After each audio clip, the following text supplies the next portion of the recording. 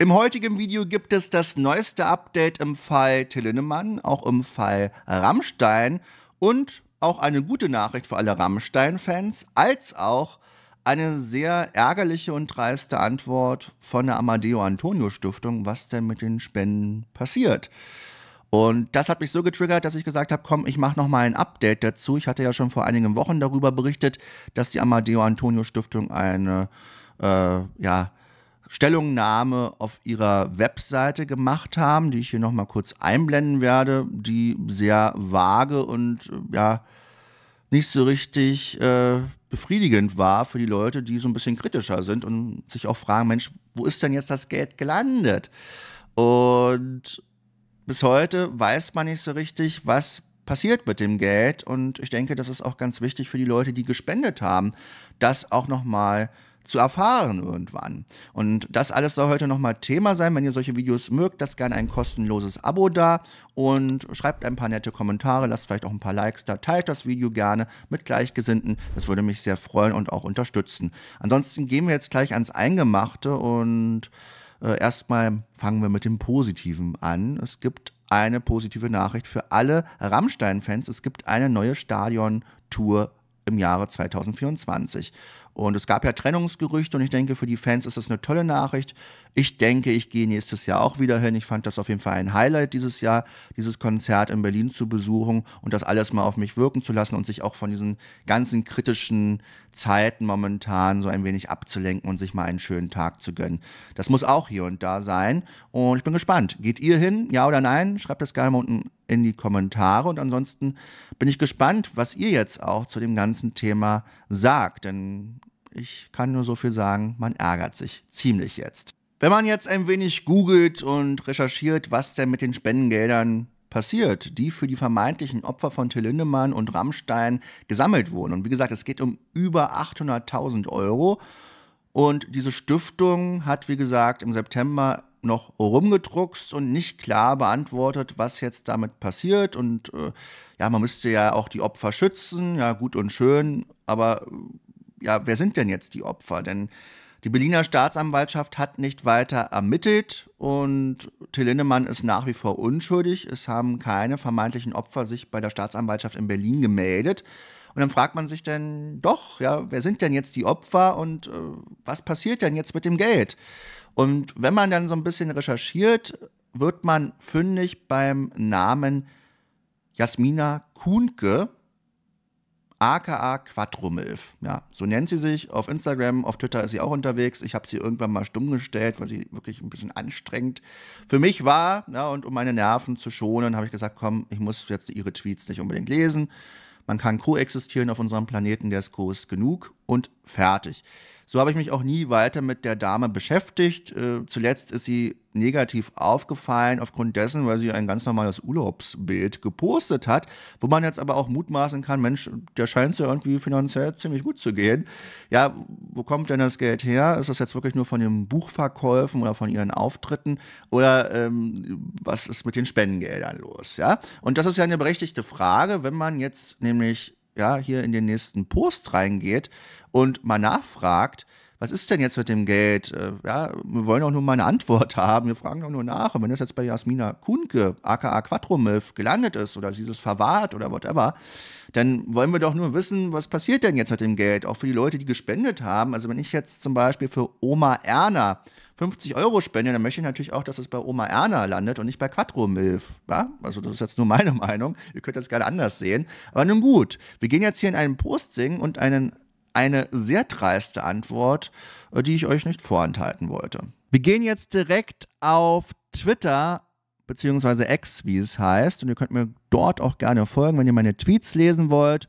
Und ich habe das hier auch retweetet, den Post, damit das hier auch schön abgespeichert für mich ist und ich das noch finde, denn es ist echt schwierig, zum Teil dann Sachen wiederzufinden dort. Und ich zitiere einfach mal. Amadeo Antonio Stiftung, wo ist das Geld? Bei Jasmina Kuhnke. Warum? Du bist nur rassistisch. Eine super Antwort, nachdem man keine Medien antwortet für Wochen. Und das ist nun mal Fakt. Also bis auf dieses Posting und irgendwelche Social Media Antworten ähm, gibt es nicht viel, was man findet. Ja? Und das ist schon ziemlich traurig. Und ärgert mich und hat mich auch dazu bewogen, dieses Video hier für euch zu machen. Und die Antwort hat es in sich.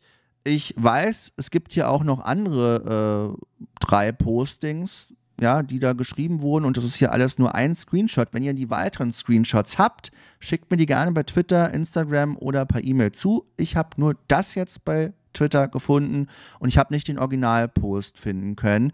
Seht's mir nach, es war mir unmöglich. Wenn ihr das findet, schickt es mir zu. Ich möchte hier nicht unfair agieren. Wenn hier irgendwo nochmal dann expliziter erklärt wird, was mit dem Geld passiert, bin ich der Erste, der darüber dann ein Update drehen wird. Ansonsten gehen wir jetzt hier ans Eingemachte. Für diesen Fonds können Menschen zweckgebunden spenden. Der Vorwurf gegen Jasmina Kuhnke, diese Gelder oder die der Kampagne, wie viel macht ein Euro, zu veruntreuen oder gar damit abgesetzt zu haben, erfüllen den Tatbestand der Verleumdung. Und wie gesagt, das ist deren guten Recht, wenn das nicht der Tatsache entspricht, sich dagegen auch zu wehren und das ist auch vollkommen legitim. Ja? Dann geht es ja aber weiter und wird jetzt eklig und das hat mich geärgert. Allen Beteiligten ist bewusst, weshalb die Diffamierung insbesondere eine schwarze Frau trifft, obwohl eine Vielzahl von Menschen die Kampagne ermöglicht und unterstützt hat. Es wird deutlich, Rassismus und Sexismus gehen Hand in Hand. Und das ist eklig und billig. Ja, dann geht es hier weiter. Die Verhöhnung der rechtsextremen Bedrohung, welcher Jasmina ausgesetzt ist, können und wollen wir nicht tolerieren. Und wie gesagt, dagegen spreche ich mich auch klar aus. Jegliche Bedrohung gegen Jasmina finde ich auch nicht korrekt und nicht gut und möchte ich auch gar nicht in den Kommentaren lesen und hören. Aber das, was jetzt hier gemacht wird, ist eine billige Nummer und darauf möchte ich eingehen. Wir stellen uns hinter Jasmina. Die Vorwürfe sind absurd und die Verbreitung wieder besseren Wissens sogar strafbar. Diese Vorwürfe sind absurd und die Verbreitung gefährlich. Sie stacheln einen wütenden Mob aus Antifeministen und Rechtsextremen an und machen Jasmina bla bla bla ähm, ja, zum Opfer oder keine Ahnung, was da noch geschrieben wurde. Wie gesagt, ihr könnt mir das dann gerne schicken, wenn ihr den Original-Tweet findet. Und ich möchte darauf dann jetzt nochmal eingehen. Ich finde es auf jeden Fall eine ganz billige Nummer. Da ich vermute, dass einige nicht so richtig zugehört haben gerade und wieder nur bei den Kommentaren auf 180 sind. Ich betone nochmal ganz klar an alle Jasmina Kundke, aka Quattro Milf-Fans, dass ich jegliche Art von Bedrohungen gegen Jasmina Kundke verurteile. Punkt. Ja, da gibt es auch kein Aber oder Schöngerede.